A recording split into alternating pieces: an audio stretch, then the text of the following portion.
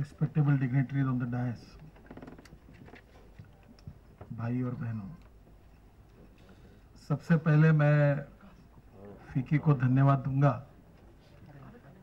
कि उन्होंने आज की स्थिति में पीपीपी मॉडल पर मेरे डिपार्टमेंट की आज की स्थिति और नीति के बारे में आपसे कुछ चर्चा करने का अवसर मुझे दिया है।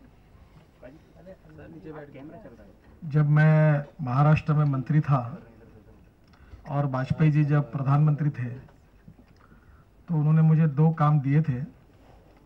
एक गाँव को जोड़ने वाली योजना बनाने के बारे में उन्होंने मुझे योजना तैयार करने के लिए कहा था। और दूसरा, राष्ट्रीय महामार्ग को फोर लेन में रूपांतरित करने की भी योजना तैयार करने के लिए कहा था। और मेरा ये गौरव है कि प्रधानमंत्री ग्राम सड़क योजना और राष्ट्रीय महामार्ग को फोर लेन में रूपांतरित करने वाली योजना की पहली प्रोफ़ाइल दोनों मैंने उस समय वाजपेयी जी को दी थी। उस समय मैंने अपने रिपोर्ट पर लिखा था, वो अमेरिकन प्रेसिडेंट जॉन केनेडी का एक वाक्य था।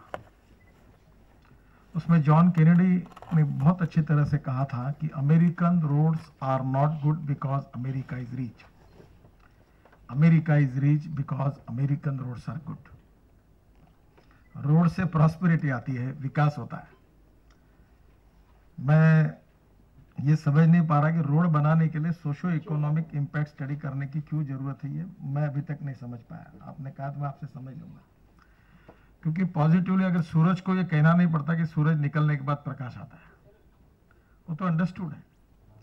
तो रोड बनाने से तो प्रॉस्पेरिटी प्रोग्रेस आने वाला है। और इसलिए मैं नहीं मानता हूँ कि इसके लिए ये जो सोशियो इकोनॉमिक इम्पैक्ट स्टडी करके एक एक साल और उसमें जोड़ देंगे। तो ये एक नया प्रॉब्लम और उसके कारण होगा। सोशियो इकोनॉमिक इम्पैक्ट अच्छा ही है। रोड सेक्टर अगर खड़ा होगा तो समाज और देश आगे ही जाएगा। इसमें कोई दुमत नहीं है। आज की स्थिति में मुझे इस बात का और एक खुशी है कि इस देश का पहला पीपीपी रोड शुरू करने का मौका मुझे मिला, जब मैं मंत्री था। वो नेशनल हाईवे पर ठाणे भिवंडी बाईपास करके पहला बीओटी रोड जो था, वो शुरू हुआ। और उसकी कल्पना भी मुझे ऐसी आई कि मैं जब मंत्री बना तो मलबार हिल पर मुंबई में एक बड़े बंगले में रहने के लिए गया। उस समय कलर टीवी नहीं था। तो मैं मलबार हिल के एक टीवी शोरूम में जाकर मैंने कहा कि मुझे कलर टीवी चाहिए।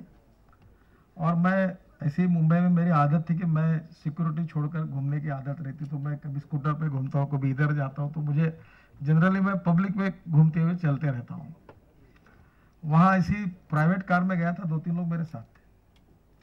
और उनने मुझे कहा कि टीवी बताया सब बताया मैंने एक सिलेक्ट किया। और मैंने उनको कहा कि मुझे इंस्टॉलमेंट पर चाहिए। तो उन्होंने मेरा नाम पूछा और जब मैंने कहा कि मैं मंत्री हूँ तो उसने कहा सर अभी पीस नए आए नहीं है। मैं बाद में आपको आने के बाद इन्फॉर्म करूँगा। और उसने मुझे बाद में कभी इन्फॉर्म नहीं किया।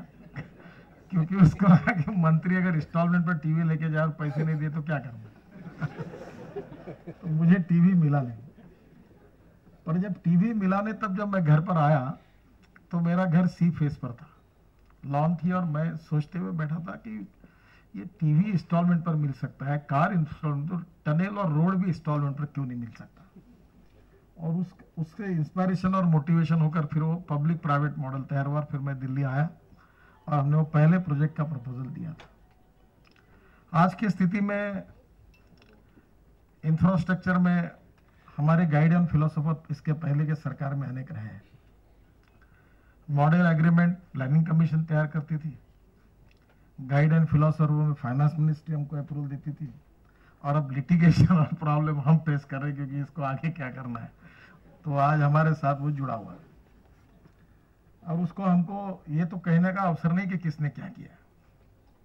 मॉडल एग्रीमेंट जो है, जो बॉम्बे पुणे एक्सप्रेस हाईवे के समय हमारे यहाँ जो बना था, कोई लगभग प्रॉब्लम नहीं आए थे। और जो काम आप सबको पता ही होगा कि महाराष्ट्र की सरकार ने उस समय किया 3600 करोड़ का लोएस्ट टेंडर था।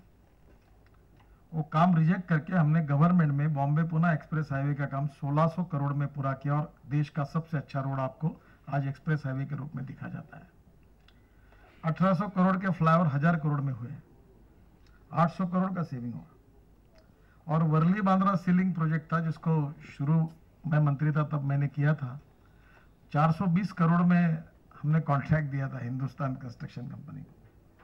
बाद में हमारी सरकार गई तो वो भी उसकी कीमत 1600 करोड़ तक चली गई है। There various reason for it एक बहुत इंपॉर्टेंट चीज़ है। मैं गवर्नमेंट पर अधिकारियों पर निगेटिव नहीं बोल रहा हूँ। हमारे पूरे सरकार में time is the most important concept in infrastructure and business इस बात को सरकार में कोई समझने के लिए तैयार ही नहीं। मैं अस्वस्थ हूँ क्योंकि मेरा एक दिन डिले निर्णय करने के लिए that cost country 15 crore rupees per day तो मैं बारह बारह एक एक दो दो बजे तक रोज बैठता हूँ। और हमारे यहाँ एनएचआई के जो चेयरमैन हैं, मैं उनको धन्यवाद दूँगा कि उन्होंने आउट ऑफ़ वे जाकर काफ़ी प्रमाण में सेटलमेंट करके मार्ग निकाला है। उनके प्रॉब्लम्स कितने कठिन थे मैं समझ सकता हूँ। और उन्होंने इसमें से हमने कहा सेटल करो, मार्ग निकालो। और ऐसी स्थिति है कि आज मुझे कॉन्ट्रैक्टर को बोलना पड़ता है कि तुम काम करो और वो बोलता मुझे नहीं करना है। पाँच परसेंट के वन परसेंट लो और मुझे छोड़ दो। और मैं बोलता, तुम कैसे काम नहीं करोगे, मैं देखूँगा, तुमको करना पड़ेगा।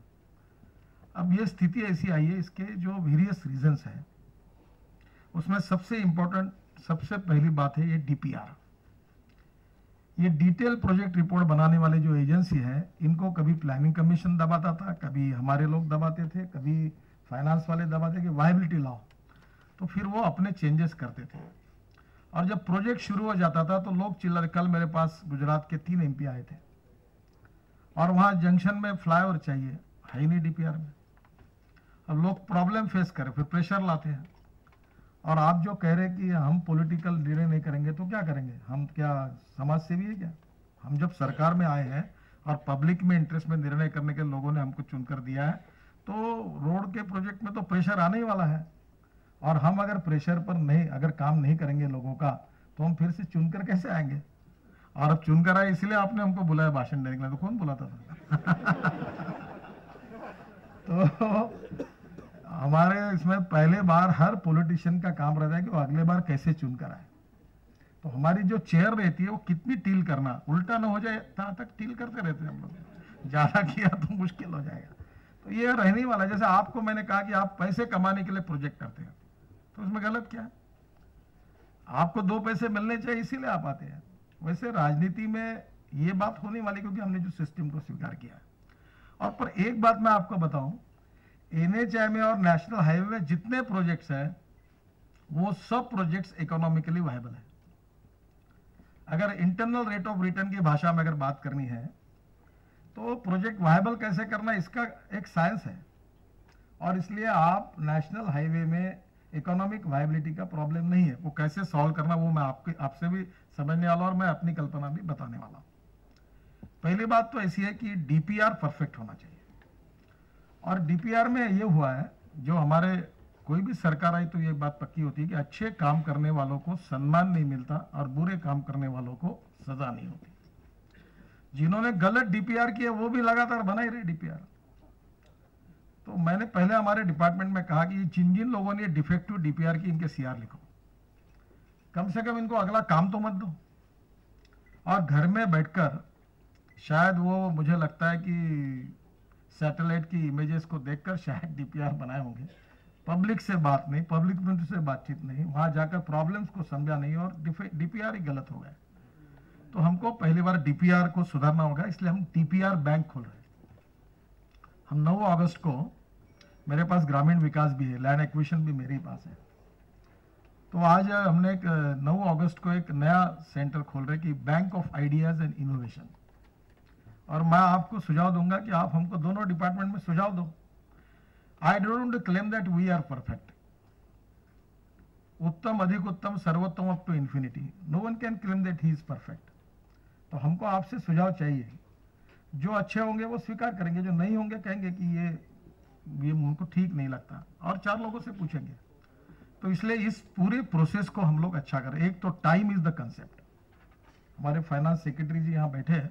मैं उनसे अनुरोध करूँगा कि गवर्नमेंट में हमको सभी डिपार्टमेंट में टाइम पर निर्णय होने चाहिए। तीन तीन महीने चार चार महीने साल साल डेढ़ डेढ़ साल हमारे डिपार्टमेंट में निर्णय नहीं होते।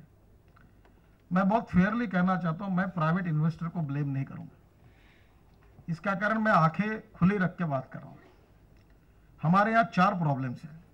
Land acquisition 10 percent land acquisition हुआ है और आपने प्रोजेक्ट का टेंडर भी कर दिया वर्क ऑर्डर भी ले लिया फाइनेंशियल क्लोजर भी कर लिया। दो साल हुए फाइनेंशियल क्लोजर होकर लैंड ही नहीं मिले। आप कैसे काम कर पाओगे? अब पहली गलती हमने की जब लैंड एक्विजिशन नहीं हुई थी तो प्रोजेक्ट को टेंडर क्यों किया? टेंडर किया तो वर्क ऑर्डर क्यों दिए अच्छा लैंड एक्विजिशन में जो है वो तो स्थिति ऐसी है, दूसरा है फॉरेस्ट एंड एनवायरमेंट क्लियरेंस कितने सालों से पड़े हैं प्रोजेक्ट क्या किसी को चिंता है कि तीन तीन साल क्लियर करने के बाद जो समय जाकर जो एस्केलेशन कॉस्ट बढ़ी है, जो इंटरेस्ट कॉस्ट बढ़ी है, वो कितनी है? बैंकों की स्थिति क्या हुई है? कोई सोचता है? मुझे अरुण शौरी जी ने एक अच्छा वाक्य बताया। वो टाइम के बारे में है तो मैंने वो लिखकर हमारे सब सेक्रेटरीज को दे दिया। हाँ कहो तो हाँ कहो, ना कहो तो ना कहो, रखते क्यों फ़ाइल को? तीन तीन चार चार महीने फ़ाइल पर बैठ के रहते नहीं, आज करेंगे कल your every day escalation interest cost कितनी बढ़ती है? Not taking a decision is a big problem मैं जब मंत्री था तो मैं कहता था I like honest people who can get the things done अब मैंने वो अपने टेबल पर रख दिया। जो करना है I am the last person मैं कभी कोई सेक्रेटरी को और अधिकारी को नहीं कहता, गलत निर्णय करो। तुमको जो लगता लो ना, करो निर्णय। आपके निर्णय पर पॉलिसी हम तय करेंगे, हमको क्या करना है? हम उसको ओवरूल करके कह सकते कि ऐसा नहीं, ऐसा करो। आपका अधिकार है। पर निर्णय नहीं होंगे तो कैसे होगा? That is one of the problem is time DPR फिर लाइन एक्विशन का प्रॉब्लम है। हम उसको इंप्रूव कर रहे हैं। और अभी हमने निर्णय किया कि 80 परसेंट लैंड एक्विशन किए बिना हम लोग टेंडर नहीं निकालेंगे। कहा, पहला काम करो, बंद करो, टेंडर निकाला। 80 परसेंट लैंड एक्विशन हुआ, करो। और दूसरा काम हमने किया है कि 300 प्रोजेक्ट्स एडिशनल, जो पाँच साल, दस साल के बाद हम इंप्लीमेंट करने वाले, कोई भी प्रोजेक्ट हो, हम हमारे यहाँ एनएचआई में और इसमें एक सिस्टम करें कि उन प्रोजेक्ट का आज से डीपीआर बना के रखो। ज़्यादा पैसा नहीं लगता डीपीआर के लिए। और land acquisition, forest environment clearance और रेलवे के क्लियरेंस के लिए और डिफेंस लैंड के जो प्रॉब्लम, उसके लिए आप अप्लाई करना शुरू कर दो। कागज़ देने में तो पैसे नहीं लगते। इट्स अ प्रैक्टिकल अप्रोच तो उससे हम समय बचा पाएँगे। तो पहली बात हम लोग अभी हमारे शेल्फ में आने वाले 10 साल के प्रोजेक्ट का पूरा प्रोसीजर तैयार करके हम रखने वाले हैं। जब हम करेंगे तो कम से कम ये प्रोसेस तैयार होकर रहेगी। ये पहले planning in advance and planning in detail अगर हमारे पास रहता तो शायद आप आज जो प्रॉब्लम फेस करें वो नहीं कर पाते। और इसलिए मुझे लगता है कि ये इससे उसमें राहत मिलेगी।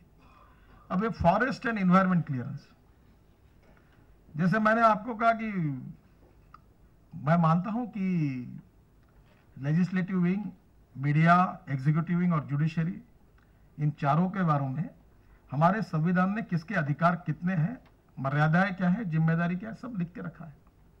हमारे हर प्रोजेक्ट में कोर्ट कहेगा, ये ये काम मत करो, ये इतना करो, ये तोड़ दो, ये ऐसा मत करो। ठीक है, कोर्ट है, सम्मान करते हैं। पर अगर हम एक तो कोर्ट से डिपार्टमेंट नहीं चला सकते जुडिशरी से। अगर चलाना है तो वो भी चला आके अगर इस प्रकार से अगर काम होगा तो काम कैसे कर पाएँगे? और इसलिए मैं जुडिशरी का सम्मान करता हूँ। पर आज धीरे धीरे इतने मैटर सब जुडिस हो गए हैं और ईयर्स टू ईयर केसेस पड़ी हुई है। जिन्होंने पैसा इन्वेस्ट किया, वो मर रहा है। और जनता जहाँ है, वहाँ तीन तीन साल प्रोजेक्ट बंद पड़ा है पीपीपी मॉडल का। और एमपी एमएलए मेरे आकर चिल्ला रहे कि ये इतने गड्ढे पड़ गए, चल नहीं सकते। मरे तो पीपी वाला कहता है कि क्लियरेंस नहीं तो मैं रिपेयर क्यों करूँ? डिपार्टमेंट कहता है कि पीपीए कर दिया हम पैसा क्यों लगा लोग वहाँ तकलीफ़ में एक्सीडेंट हो, एक लाख इकतीस हज़ार लोग मरते हैं नेशनल हाईवे हर साल। इसके लिए कौन जिम्मेदार है? और इसलिए ये ये जो कॉम्प्लिकेशन में से रेलवे के बारे में रेलवे ओवरब्रिजेस एक अच्छा हुआ कि प्राइम मिनिस्टर को जब हमने प्रेजेंटेशन दिया तो ये सब प्रॉब्लम रेलवे डिफेंस लैंड का प्रॉब्लम तो जावड़ेकर जी को मैंने कहा कि वो डिफेंस का पत्र मत निकालो सो प्रोजेक्ट क्लियर करने का। बोले, क्यों? मतलब मेरे प्रोजेक्ट अटके हुए, उनको कहो पहले सेक्रेटरी को कि मेरे प्रोजेक्ट क्लियर करें, तब उनके हाथ में पत्र देना तो देना नहीं. तो आए मुझे मिलने के लिए कि मैं सब आपके पूरे कर रहा हूँ, पूरा काम पे भिड़े और जल्दी करेंगे। कोई काम निकालता है नहीं जल्दी। मेरा क्यों घर की बात नहीं है? आई एम फुल्ली ट्रांसपेरेंट पर ये जो चार बातें जो है land acquisition forest and environment clearance बाद में रेलवे क्लियर रेलवे क्लियरेंस तो बहुत डिफ़िकल्ट है। हिंदुस्तान में सबसे अच्छा काम क्लियरेंस का करने के लिए अवार्ड देना चाहिए तो रेलवे को देना चाहिए। आप राइट को लाओ, आप उनके चीफ इंजीनियर को लो, किसी को भी लो रिटायर्ड आदमी को। आपने रेलवे बोर्ड रिटायर्ड चेयरमैन को भी काम दिया तो भी आपका आरोप क्लियर नहीं होगा। मुंबई मेट्रो की फ़ाइल जो थी 600 टेबल पर गई थी। और हमारे आरोपी जो होते हैं, वो 16 टेबल पर क्लियर करते हैं। ये मैंने प्राइम मिनिस्टर के सामने सब रखा, खुले रूप से रखा। रेलवे चेयरमैन को उन्होंने कहा कि, सर, मुझे टाइम दो। मैंने उनको कहा, ये तुम करो, ये बिल्कुल गलत बात है। और मैंने बोला, मैं आपके नाम से ओपनली चिल्लाना शुरुआत करूँगा। आप मुझे जो लीगली वो तुरंत करके दो। अब उन्होंने काम की शुरुआत की। 109 प्रोजेक्ट उन्होंने हाथ में लिए। और मेरे डिपार्टमेंट के कम से कम 300 आरओबी के प्रोजेक्ट लटके हुए। एक जगह डिज़ाइन दिया, एक इंजीनियर ने, वो बदली होगी। दूसरा आया बोला, ये नहीं, दूसरा चाहिए। ये क्या हो रहा है? मेरे पास केसेस है। यानी इंजीनियर बदल गया तो बीपी वाला क्या करेगा? आपकी मजबूरी है बॉस इज़ ऑलवेज करेक्ट मैं बोल सकता हूँ, आप नहीं बोल सकते क्योंकि आपको फिर काम करना है, दूसरा टेंडर लेना है। तो रेलवे वाला वो क्लियरेंसेस देता पर अब प्राइम मिनिस्टर ने कहा और मुझे कहा कि आप हर महीने में बैठो, चारों डिपार्टमेंट को लेकर और सबको बुलाओ। और आप इसके जो क्लियरेंसेज है legally legally logically and ethically कोई गलत काम नहीं चाहिए। कम से कम उसको क्लियरेंस करने में अगर काम में हो जाएँगे तो आपके ये जो प्रॉब्लम है, ये काफ़ी सॉल्व हो जाएँगे। अब इसमें से एक स्टेट गवर्नमेंट के साथ इशू है। और उसके लिए वो इशू है, आपको क्वारी के लिए जगह चाहिए। दो दो साल नहीं मिलते। कर्नाटक सरकार ने कानून बनाया, वो क्वारी के लिए जगह ही नहीं देते। सैंड नहीं मिलती। अब आपको सैंड नहीं मिलेगी क्वारी नहीं मिलेगी तो रोड कहाँ से बनेगा? और हमारा डिपार्टमेंट क्लेम्ड आपके ऊपर पेनाल्टी लगा देगा। फॉरेस्ट इन्वायरमेंट क्लियरेंस नहीं मिला, तुम्हारी ज़िम्मेदारी। लैंड एक्विशन नहीं मिला, तुम्हारी ज़िम्मेदारी। सब होगा, तुम्हारी ज़िम्मेदारी। ऊपर से हम आपके ऊपर पेनाल्टी लगा देंगे। आप बोलोगे, फिर से बोलोगे आप क्लेम मांगोगे तो खबरदार। लाइक साइन करो, मांगूँगा नहीं, फिर क्लियर करेंगे। तो ये ये ये ऐसा कैसे काम चलेगा? देखो I am not favouring to contractor neither am government independent impartial fair जो सही है, वो सही है। जो गलत है, वो गलत है। ये नहीं चलेगा। और इसलिए ये बहुत से प्रोजेक्ट्स में स्टेट अभी एक स्टेट तो ऐसा है कि एक सरकार आती प्रोजेक्ट शुरू करती, दूसरी सरकार आती, उसके प्रोजेक्ट बंद करती। फिर वो सरकार जाती, वो उसके प्रोजेक्ट बंद करती। There is a competition between the two government previous government कौन किसके काम बंद करे। मैं क्या करूँ? दोनों भी महानुभाव बड़े, अब ये चल रहा स्टेट में मेरे बहुत फ़ाइल बनी हुई है। और बैंकों में क्लेम बन रहे आखिर मैंने एनएचआई चेयरमैन को कहा कि ये स्थिति ना तुम्हारे हाथ की, ना मेरे हाथ की, कम से कम इनको पेनल्टी मत लगाओ, इनको छोड़ो, जाने दो। कहाँ टोल वसूल करेंगे? ये पुराने सरकार ने प्रोजेक्ट शुरू बड़े बड़े प्रोजेक्ट है तीन तीन सौ चार चार सौ करोड़, उसने बंद कर दिया इन्होंने शुरू किए, उसने बंद कर दिया दोनों एक दूसरे को काम ही नहीं होने देते आप स्टेट कौन सा होगा, आप समझ लेना। अब कैसे काम करेंगे? So these are some practical problems दूसरा जो इंपॉर्टेंट चीज़ है फाइनेंस सेक्रेटरी यहाँ उपस्थित है। जब आपने प्रोजेक्ट बीड किया, तब 9 परसेंट ग्रोथ रेट था। अब 4.5 पे आया ट्रैफ़िक डेंसिटी कम हुई है। अच्छा आप लोगों ने भी लालच में बहुत काम किया। जब लैंड एक्विशन नहीं था फॉरेस्ट क्लियरेंस नहीं था, कोई क्लियरेंस नहीं था क्यों ऑर्डर लिया। आपने क्यों लिया? जब इनकम्प्लीट था तो लिया क्यों? क्योंकि आप लालच में हो। जाएगा। जमा लेंगे। पीआर है अपना, जमा लेंगे। आपने कॉन्फिडेंस में लिया। अब चिल्ला रहे हो पूरे बर्बाद होने के क्या करे क्या करे क्या करे? ऐसी स्थिति आई।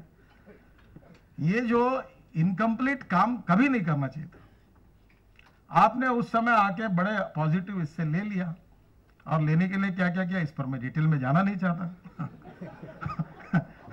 आपने ले लिए। और लेने के बाद अब वो आपके सामने प्रॉब्लम है। बैंक वाले भी छाती पर बैठे हैं। सीडीआर में भी गए एनपीए अकाउंट भी हुआ। बैंक वाले भी, मुझे खुद बैंकों के चेयर कुछ करो गडकरी जी, जल्दी करो कुछ। मैंने बोला, मैं बिल्कुल कोशिश कर रहा हूँ। तो इसके लिए आप भी थोड़ा सा देखो ट्रांसपेरेंट धंधा करिए। सम्मान के साथ स्वाभिमान के साथ, थाट के साथ करिए। झुकने का काम नहीं कही जो सही है, वो सही है, गलत है, वो गलत है। आप अगर लालच में आके शॉर्टकट मारेंगे तो एक बात याद रखिए shortcut cut you short shortcut honesty transparency clarity and it may be long cut but it's a good policy for future आप कोई शॉर्टकट मारिए, और किसी को मारने मत दीजिए। शॉर्टकट कट यू शॉर्ट याद रखिए। आप जितने शॉर्टकट मारे, उसके कारण अभी आप लोग तकलीफ़ में फंसे हुए मैं कम से कम तुम्हारा सौभाग्य है कि तुम्हारी तकलीफ़ समझने वाला तो भी मैं हूँ। बाकी मुझे नहीं लगता हमारे यहाँ कोई इस बात का आपकी आवाज़ कहाँ तक जाएगा, और बोल भी नहीं सकते। जब सेक्रेटरी और एनएचआई चेयरमैन और बैठेंगे तो किसकी ताकत है उनको कॉन्ट्राडिक्ट करने की? कोई बोल नहीं सकता। वही कहना था boss is always correct sir आप कह रहे वो सही है। क्योंकि वो ऐसे ही रहता है। वो जब उनके अधिकारी से बोलते तो यही कहते वो कोई अपने अभिनिवेश देखो कॉन्फिडेंस एंड ईगो इसमें फ़र्क है।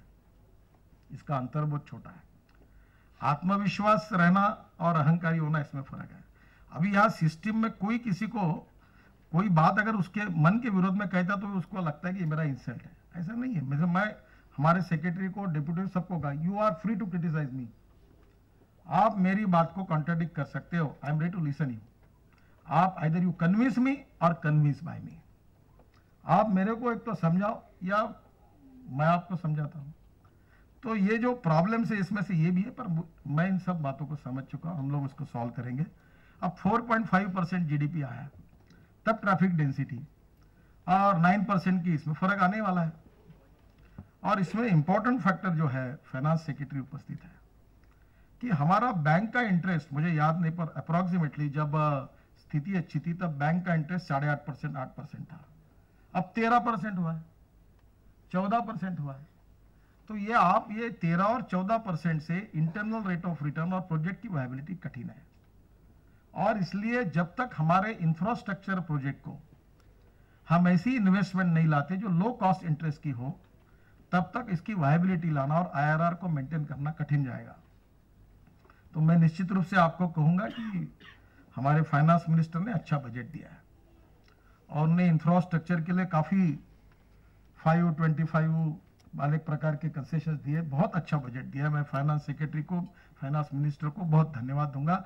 कि पहली बार उन्होंने आपके दर्द को समझते हुए बहुत अच्छा कोशिश की उनका इंटेंशन बहुत अच्छा है। हम प्रॉब्लम सॉल्व करना चाहते हैं। हम आपसे झगड़ा करना नहीं चाहते। हम कोर्ट में नहीं जाना चाहते। और हमको भी समझता कि आपको दो पैसे नहीं मिलेंगे तो आप काम कहाँ से करोगे? इसमें से कुछ बातों के बारे में मेरे मन में था, जो मैं आपसे भी चाहता हूँ। मैं जब मुंबई पुणे एक्सप्रेस हाईवे हमने बनाया, तब सब लोगों के विरोध के बावजूद मैंने एक पाइपलाइन डाल दी उसमें। ऑप्टिक फाइबर के केबल के लिए 1997 में। अब वो उसके कारण 27 करोड़ का इनकम मिलता है महाराष्ट्र सरकार अब हमारे यहाँ देश में पावर सेक्टर में ट्रांसमिशन ये बहुत बड़ा प्रॉब्लम है। अगर मुंबई में पावर का रेट अगर साढ़े तीन रुपए है तो चेन्नई में साढ़े सात रुपए है। बिकॉज़ ट्रांसमिशन लाइन ही नहीं है। दिल्ली का प्रॉब्लम ट्रांसमिशन लाइन का है।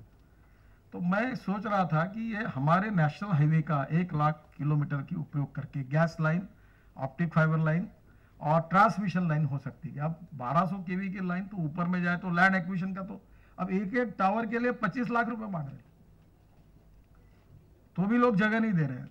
अब वो एक्विशन लैंड एक्विशन तो टावर डालना और पावर लाइन ले जाना मेरा विषय नहीं है, पर मैं उसकी प्रॉब्लम समझ रहा हूँ। तो मैं ये सोच रहा हूँ कि क्या ऐसी कोई सिस्टम निकल सकती है? कुछ डिज़ाइन मैंने लोगों से चर्चा करके लाया कि gas line, water line, optic fibre line और ये हमारी ट्रांसमिशन लाइन भी तो उसके अलग अलग डिज़ाइन मुझे मिले हैं। टेक्नोलॉजी भी अपने देश में नहीं है, पर ये इससे रेवेन्यू मिलेगा। और ये रेवेन्यू भी टोल से भी टोल से ऐसा अच्छा रहेगा। तो मुझे लगता है इसमें इकोनॉमिक वाइबिलिटी के लिए हम लोग कोशिश करेंगे। दूसरा जो है,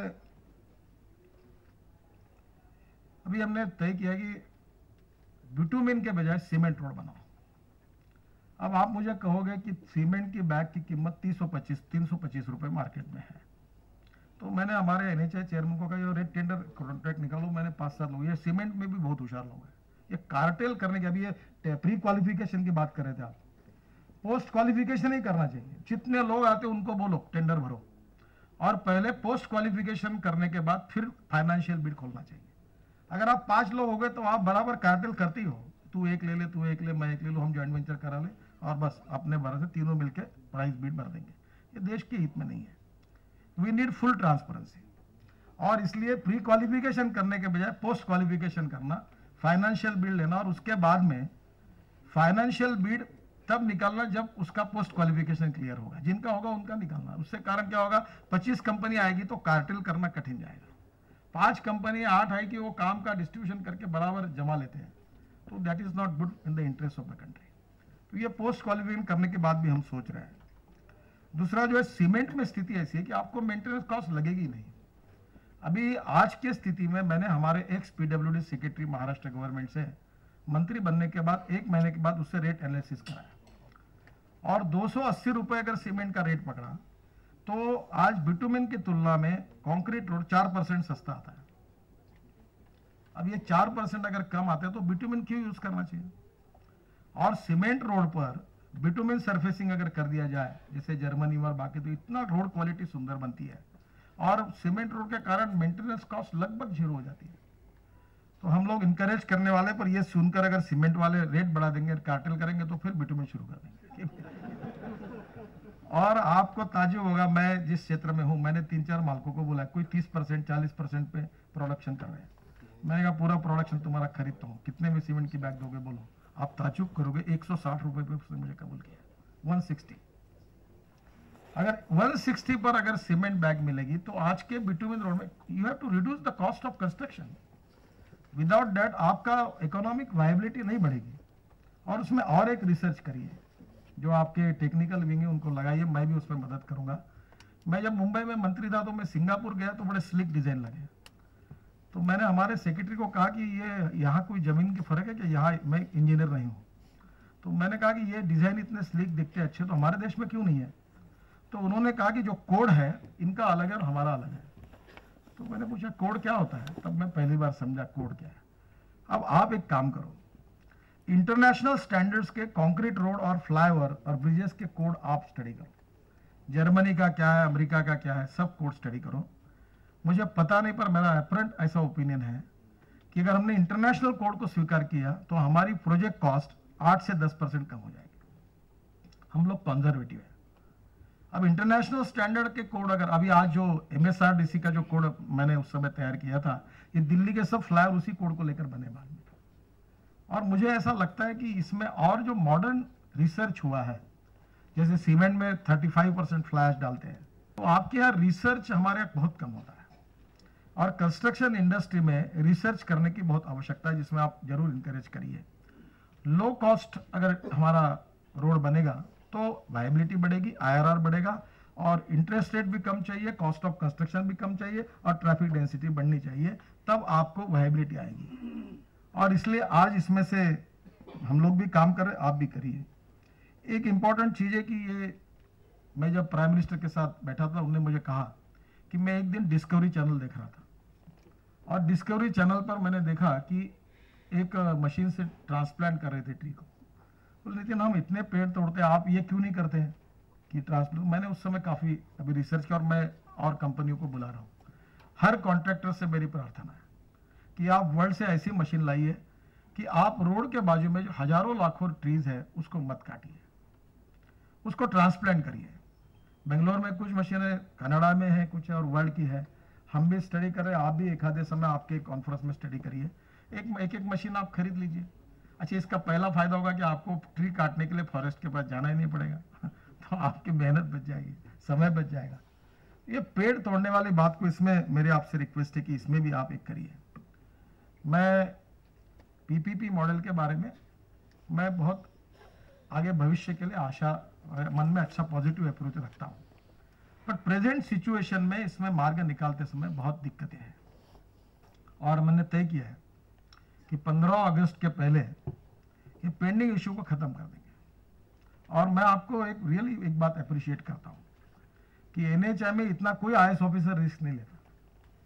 हमारे जो चेयरमैन है, जब उनसे मैं बात करता उन्होंने बहुत रिस्क उठाई, बहुत झगड़े किए, बहुत एग्रेसिव है वो। पर उन्होंने बहुत कीमत चुकाकर उन्होंने काफ़ी इसमें से सेटलमेंट किए और मैंने उनको कहा कि आज फिर मैं जब मुझे भी कंफ्यूजन हुआ, कैसे सॉल्व करना? क्योंकि ऐसा आपका ठीक है।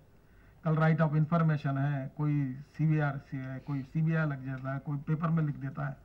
हम देश के हित में करेंगे और हम फुकट की गाली खाते रहेंगे तो क्या मतलब है? तो मैंने प्राइम मिनिस्टर के प्रिंसिपल सेक्रेटरी को एनएचआई चेयरमैन हमारे सेक्रेटरी को एक दिन रात को मैंने घर बुलाया बैठे रहे। अब तीन घंटे मैंने कहा कि मुझे मार्ग बताओ। और क्या करना मैंने फाइनेंस मिनिस्टर को आप तय करो। कम समय में इन सब मामलों को कैसे निपटाना? You tell me what is the transparent way by which we can get the result और हम लोग उस पर आए हैं। और मेरा विश्वास है कि लगभग 15 अगस्त तक हम लोग डार्क एरिया को खत्म कर देंगे और नेशनल हाईवे अच्छी तरह से दौड़ने लगेगा। इतनी स्थिति निश्चित रूप से लाएँगे। उससे बैंकों में अच्छा इंप्रेशन आएगा। और 15 अगस्त को ये काम करने के बाद मैंने तय किया है कि कॉन्ट्रैक्टर्स और बैंकर्स इनको बुलाकर मैं प्रेजेंटेशन देने वाला हूँ। कि अब ये इतने प्रोजेक्ट थे, इतने चल रहे हैं, सब प्रॉब्लम सॉल्व हो गए, और अभी आप फाइनेंस करो। मैं आपको ये सवाल नहीं पूछता, पर आज पीपीपी मॉडल में कोई बैंक फाइनेंस करने के लिए तैयार है? है तैयार? मैं रामचंद्र जी को वही पूछ रहा था कि ये मैं बोलता हूँ, पर ये कैसे हो पाएगा? आज का कारण है कि सब बैंकों के चेयरमैन मुझे मिले और सब कह रहे हैं विचारों ने बहुत उत्साह के साथ, अच्छी भावनाओं के साथ इतना बड़ा फाइनेंस किया है। और उसके बाद में आज सब देश का पैसा है। आज प्रॉब्लम फेस कर रहे हैं। आप, आपकी भी गलती ऐसा नहीं है। कोई जीडीपी ग्रोथ रेट आपके कारण कम हुआ, ऐसा नहीं। कुछ गलती हमारे लेवल पे होगी तो हम उसको सुधारेंगे। ये नॉट टेकिंग डिसीज़न ये बहुत गलत बात है। और हमारे लेवल पर time is a important concept मैं तो प्राइम मिनिस्टर को कहने वाला हूँ कि हर ऑफ़िस में सरकारी बाबू और अधिकारियों के लिए एक ले time is a important concept निर्णय तुरंत होने चाहिए। दो दो साल डेढ़ डेढ़ साल तीन तीन साल तक निर्णय नहीं होना, उसके कारण भी एस्केलेशन इंटरेस्ट कॉस्ट आई है। मेरा विश्वास है कि प्रॉब्लम्स है, पर मैं एक बात अक्सर याद करता हूँ, एक बात मैंने बहुत अच्छी तरह से याद रखी कि there are some people who convert problems into opportunities and there are some people who convert opportunities into the problems तो मैं आपको ये आत्मविश्वास दिलाना चाहता हूँ कि ये प्रॉब्लम्स को हम अपॉर्चुनिटी में कन्वर्ट करेंगे। Our government have a very positive development oriented approach, fast track decision making process and we are very much committed for the development of this country.